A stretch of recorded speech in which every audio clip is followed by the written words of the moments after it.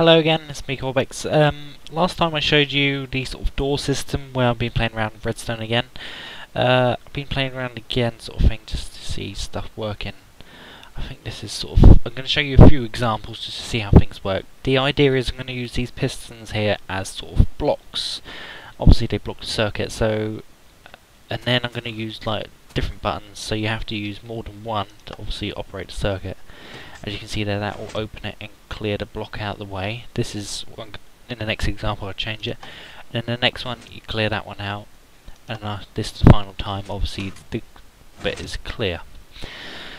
Over this is my current example, I've used three, but I'll show you sort of some of the designs to make here is the inverted one so if you want to look at this all it is is when you press the button it will invert it and delay the inverter so it has enough time to sort of make an action because without the repeaters maybe if I just take them out now and then put it back on you'll see the piston on the end will just go up and down like that but if you want to delay it this is all I've done is just put that and that's the design there, obviously you can screenshot that there if you want to sort of use it so if I press it again, it should have more of a delay. As you can see, they take it in turns to shut. So, and obviously the normal one's is the same sort of thing, except for just without that.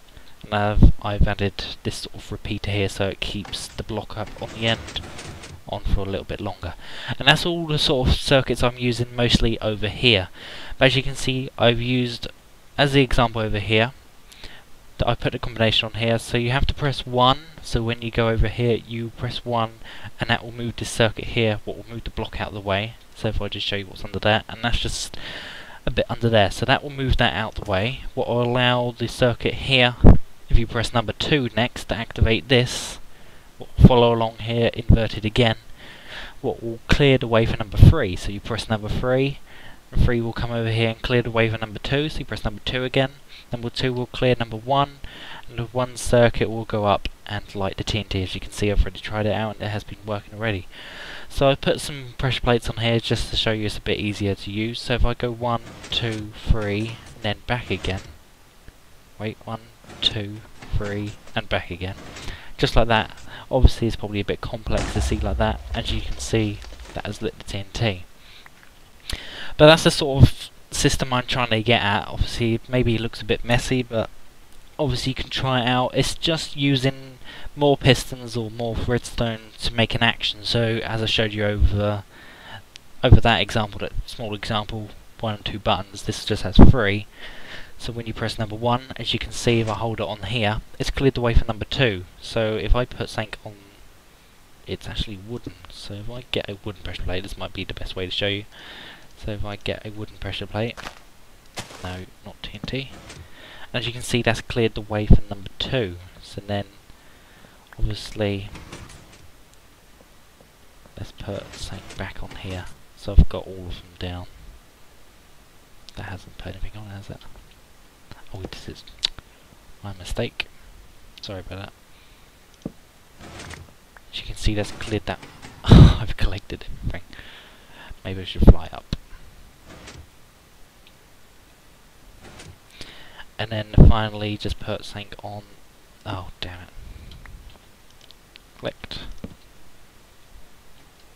and as you can see that's lit all of them up but without number two obviously that will close it up and even if you have one and three obviously that hasn't cleared the way for it working or if I have two and three so if I put something on there I've got the two going obviously by the time the one has gone off obviously I put some repeaters in here it's just a way of using multiple repeaters to create a sort of sequence.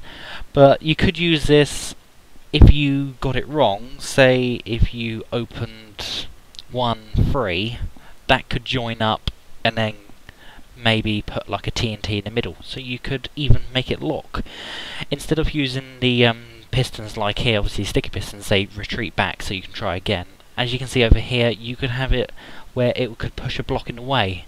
So after an amount of times you could have it push a block one space more, one space more, and after three spaces once the block's pushed, it could block the circuit. So you could have it so three tries and that's it blocked. But obviously I'm trying to show you the example so obviously you can go around play it yourself. You can always put every um, reply to this video if you want to show me anything you've used for these techniques. I think it's pretty good and it's something I've just sort of come up with. I don't think I've seen before. So there we go again. Hopefully that's explained it. I'll just go over these and show you this sort of very simple sort of thing again. Obviously you can see that. You can pause the screen and then copy the design. Obviously you can make it probably a bit slightly smaller than mine. But that's mostly what I've used. As I've shown you, you just put a hole in the ground. This was a really old video where I made that sort of thing. I found out that obviously works where you can block it up. So there we are, okay? Okay, again, thanks for watching. I shall see you another time. I'll see if I can make some more sort of good examples of these. I'll see if I can make that simpler. And I'll see what else cool stuff I can make with it. And see ya. Thank